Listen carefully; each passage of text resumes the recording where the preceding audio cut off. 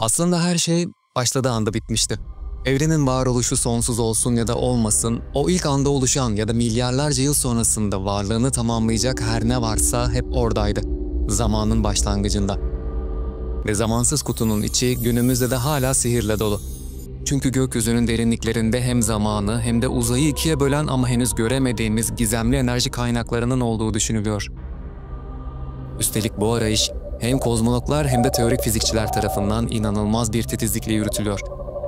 Belki de o andayız. Kozmik sicimlerin, evrenin gizem listesinin belki de ilk üçünde yer alan yapıların tam dibinde veya erişilmez ufkumuzun çok gerilerinde.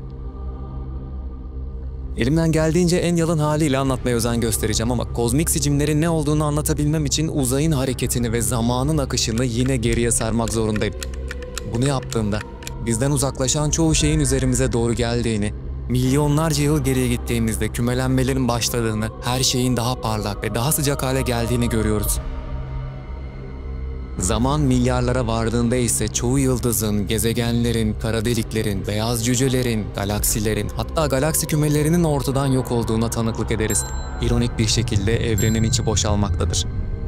Onların yerine gelen gazlar, ışıklar, tozlar, birbirine tutunmaya çalışan moleküller ve atomlar birbirlerine iyice yakınlaşmaya ve dar bir alana sıkıştırılmanın getirmiş olduğu sıcaklık hissine kapılmaya başlarlar.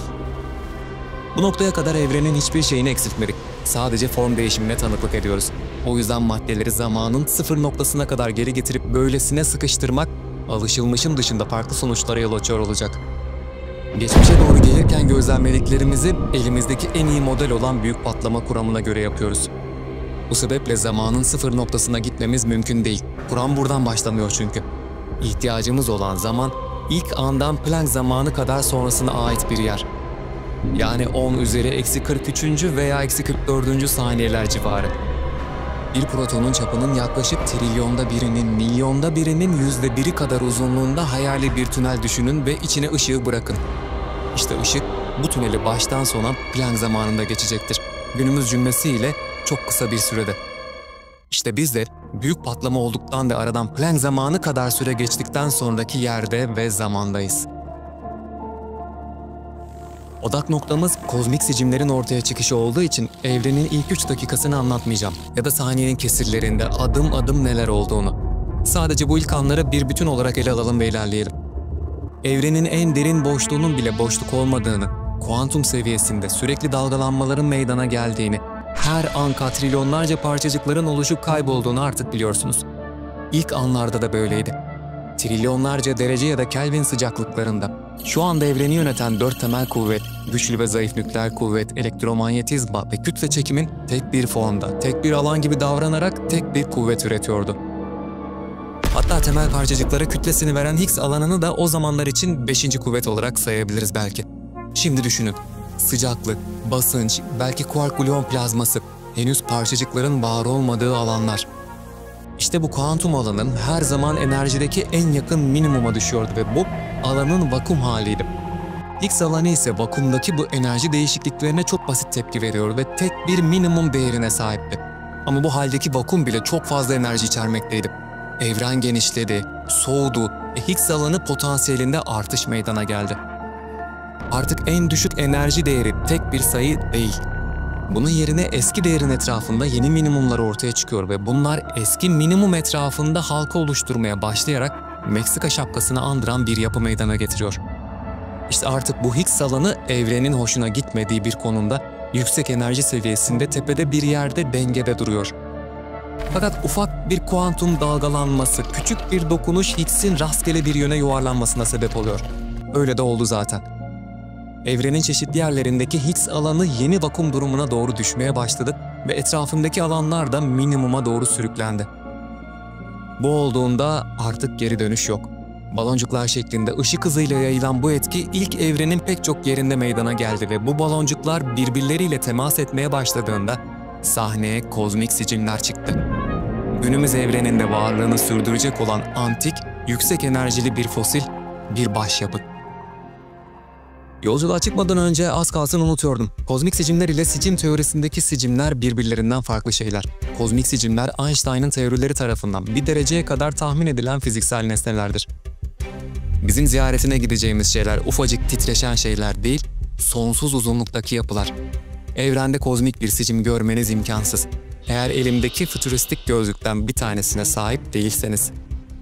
Ama yine de rastgele bir evren bölgesi seçmemiz doğru değil. Sebebini geminin içinde anlatacağım.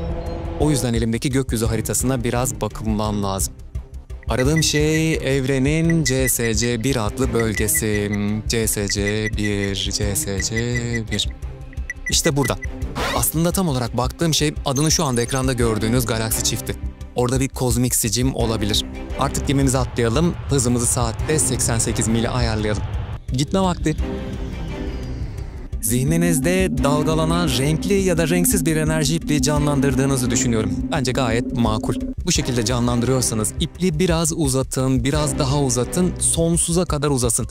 Başı ve sonu var olmayan sonsuz bir enerji ipliğine döndürün onu. Sonsuzluğa uzanan sicimleri gözler göremez. Çünkü tek boyutludur ve kalınlığı atom altı seviyelerindedir. Atom çekirdeğindeki tek bir protonun trilyonlarca kez sıkıştırın, sicimin kalınlığına ancak ulaşırsınız. Durmaksızın devam eden enerji akışıyla hareket eden bu kozmik sicimin çılgın bir gerginlik altında olduğunu, bu yüzden kendi üzerindeki titreşimlerin ışık hızına yakın bir hızda hareket ettiğini izliyorum.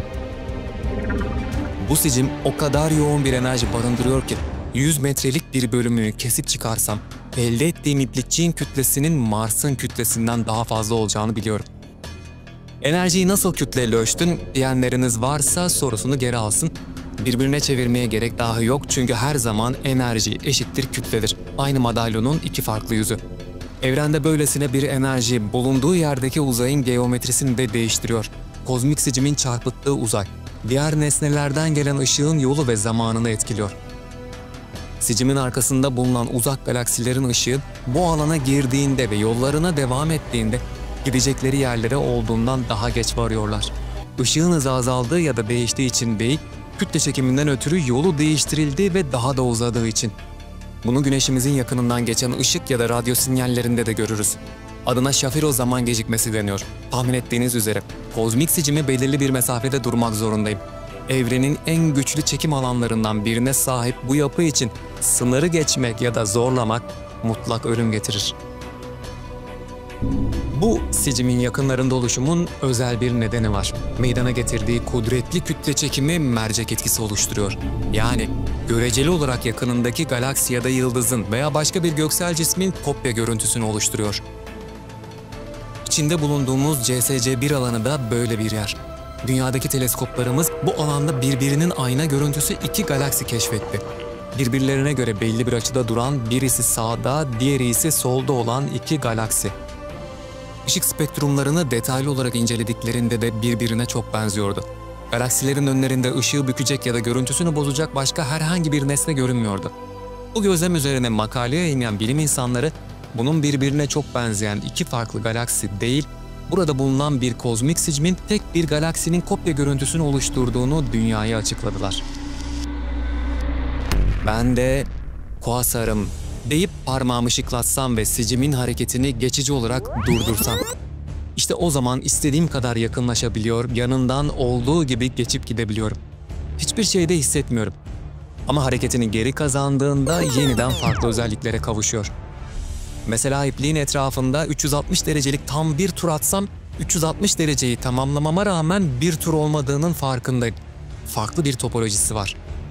Kendi üzerine katlanabiliyor, kıvrılabiliyor, kopup yeni bir sicim halkası oluşturabiliyor, farklı bir kozmik sicimle birleşebiliyor. Aklıma gelen sorulardan birisi kozmik sicimler yok olabilir mi? Eğer varsalar, sicimlerin kütle çekim dalgaları yayacakları öngörülüyor. Bu da enerji kaybetmeleri demek. Enerji kaybı demek, kütle kaybı demek. Yani teorik olarak yok olmaları kuvvetle muhtemel. Kozmik sicimler, evrendeki milyarlarca güneş kütlesine sahip kara deliklerle baş edebilecek şimdilik tek teorik yapılardır.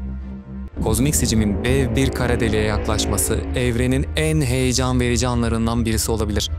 Kara delik, çekim alanına kapılan her şeyi yutabilir. Bu da genel olarak her şeyin kendisinden daha güçsüz olduğu anlamına geliyor. Bir kara deliğin üstesinden ancak başka bir kara delik gelebilir. Onun sonucu da yeni ve daha büyük bir kara deliktir. Yani yine çözümü yok.